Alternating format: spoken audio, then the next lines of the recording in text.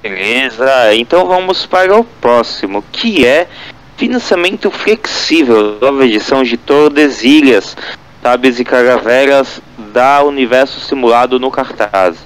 Tordesilhas está comemorando 10 anos de existência e com essa comemoração está lançando sua segunda edição e acompanhado com diversos extras. E como nós já falamos sempre deles, eu, eu vou dar destaque para os extras. Dentre eles são quem acompanhou, quem apoiou no primeiro dia estará recebendo junto o suplemento Corja dos Sete Mares, regras para aventuras baseadas nas conspirações e motins das tripulações, com artes de Marco Bin. É, quem apoiou na primeira semana estará recebendo o povo Akedes, metamorfos peçonhentos que são capazes de mudar de forma removendo a própria pele. Sim, parece os reptilianos. Com artes de Fernanda Prado. E no mesmo link também aulas adicionais. Pindorama, um livreto em PDF escrito pelo gênio Jefferson Neves com a descrição de uma região de Veracruz e uma aventura ponta para a cobiça da marojada. E também Cônicas da República do Café. Criado nas páginas do Todesine, a República do Café surgiu como uma sátira ao nosso querido Brasil, uma tentativa desesperada do autor de transformar em fantasia toda a dor que acomete a nossa nação. Trata-se de uma ilha muito parecida com o nosso Brasil, uma crítica à nossa política atual e uma ode ao realismo fantástico brasileiro, com fortes explicações ao Veríssimo, Rubião e Gias Gomes, uma ilha de beleza com tradição e magia, acometida por uma eleição selvagem, cujo resultado pode significar triunfo ou tragédia. Inicialmente, a República do Café será um livro em PDF. Contudo, se pelo menos 30 pessoas, e já temos 9 pessoas, hein, apoiarem esse livro, estará sendo enviado também a sua versão física para os apoiadores que o garantiram. E não é somente isso nele. Quem apoiou nele também irá votar. Sim, três meses após a entrega do livro, aqueles que adquiriram essa obra terão os direitos de votar para saber quem venceu as eleições. E assim será o destino da República do Café.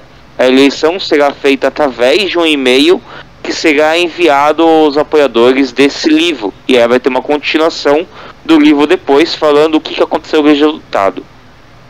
E agora, pegar nossas considerações. A começar, Hagabashi.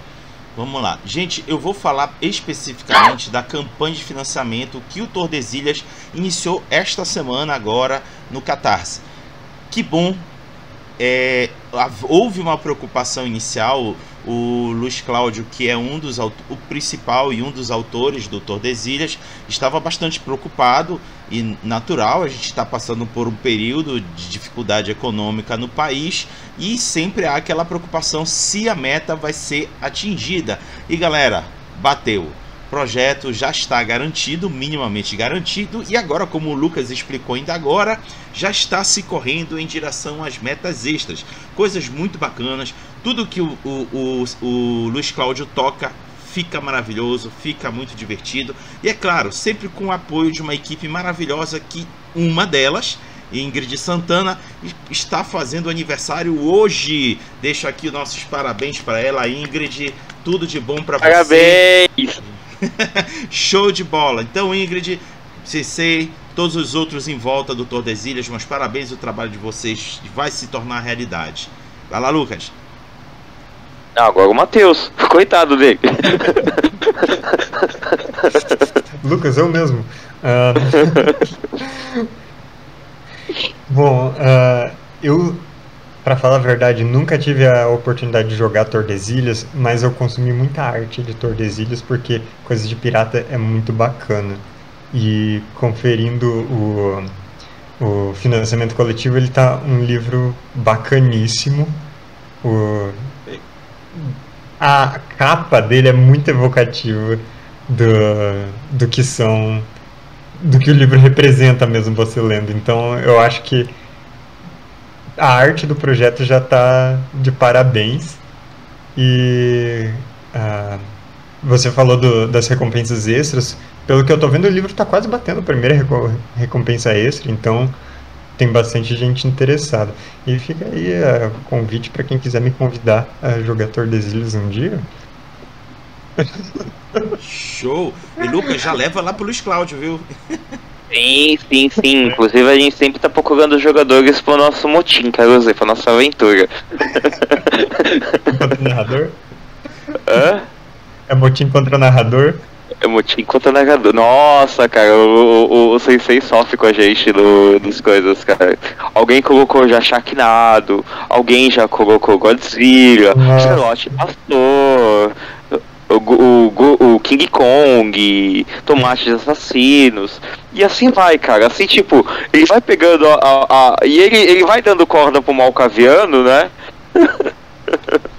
então, ponto.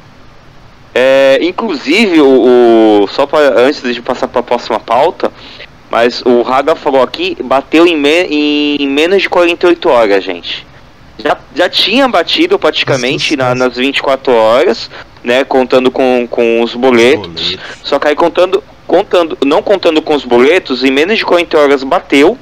E na verdade a primeira meta é esta, que é uma aventura feita pelo Fábio Cardoso, que é um dos nossos motineiros, amotinados, é, já bateu também, praticamente. Então, cara, é, é ótimo isso daqui. Bem,